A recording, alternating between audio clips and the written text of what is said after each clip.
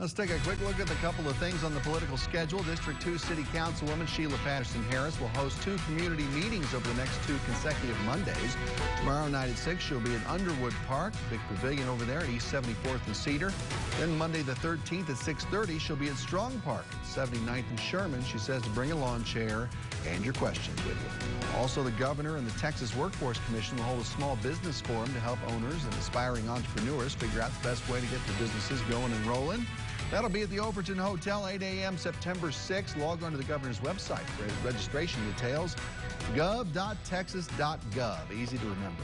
Quick reminder of this week's poll question. Do you think it should be the responsibility of the federal government to ensure that all Americans have health care coverage? Vote on our KAMC News Facebook page and everythinglubbock.com. Just click weekly features and talking points to find us. We also want your comments. Email us at the address there on your screen. That's all of our time for all of us on Talking Points. We thank you for watching. See you right here again next week.